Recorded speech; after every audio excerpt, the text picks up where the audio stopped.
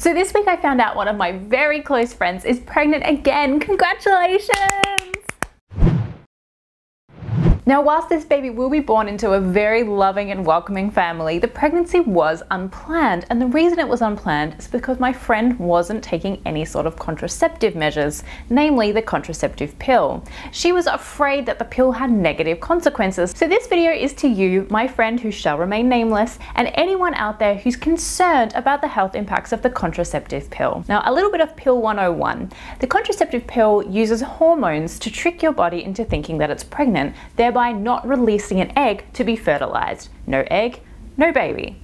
The hormones are already in your body and are a natural part of life. Estrogen, GnRH, and LSH are just some of the natural hormones that are present in every woman, whether she's pregnant or not. The contraceptive pill just mimics what our body does naturally. There's nothing unnatural about having hormones in your body. What's unnatural is the way that we live in modern life. In caveman days, a woman would have hit puberty much later than today's modern women. So what the pill does is kind of take us back to caveman days. It simulates pregnancy and it takes the burden of producing an egg every month off our body. That's probably one of the reasons why so many studies have reported that people who are on the pill are less likely to die of any cause. That's right, the pill definitely decreases a woman's risk of certain types of cancers, particularly ovarian and cervical cancer. The Royal College of General Practitioners in the UK have been studying oral contraceptives since 1968 and their ongoing study has proven over time that women who take the the oral contraceptive pill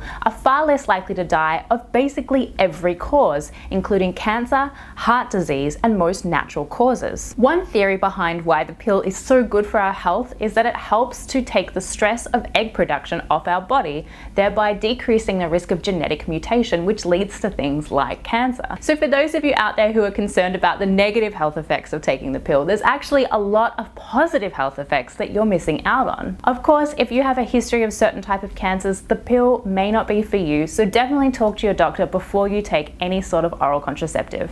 If you'd like to check out the studies for yourselves, they're all in the links below. And if you have any questions, please feel free to leave a comment. I'd love to hear from you. Thanks.